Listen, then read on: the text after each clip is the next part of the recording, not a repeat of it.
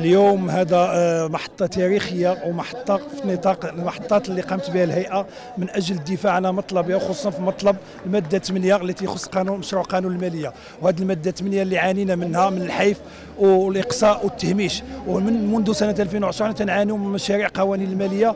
إذا بنا اليوم تنستشفوا أن كاين يد خفية بغات تقبر هذه المهنة ديال السادة العدول وأن مهنة السادة العدول مهنة شريفة كما سبق الذكر ومهنة اللي عندها آه، عندها واحد التاريخ وعندها جذور هويه وطنية وعندها هويه وطنية. من المطالب ديالنا الأساسية إحنا جينا هنا أمام قبة البرلمان بصفتها مؤسسة دستورية تشريعيه أنها تنصف هذه الفئة وهذه الشريحة مهنيه من الشرائح ديال المواطن المغربي. وحنا هنا هذا ماشي دفاع على مطلب السادة العضو فقط دفاع على مطلب المواطن لأن هذا حيف في حق العدل اللي هو أقرب الناس وأقرب المهنيين إلى المواطن.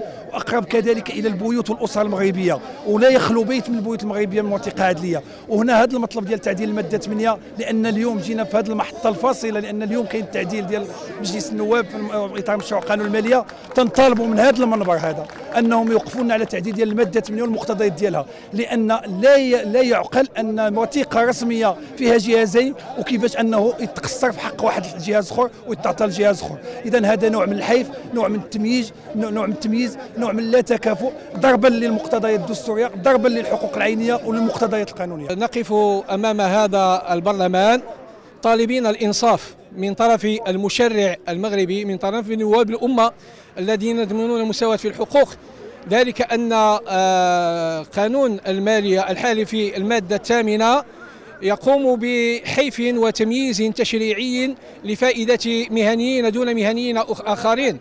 فالمادة 4 من مدونه الحقوق العينية تدعو إلى الإنصاف إلى إلى أن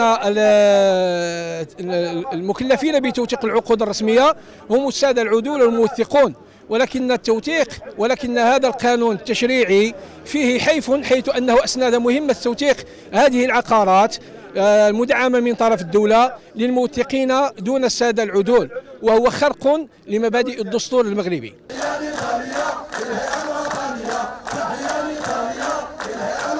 Daria, Daria, Daria, Daria.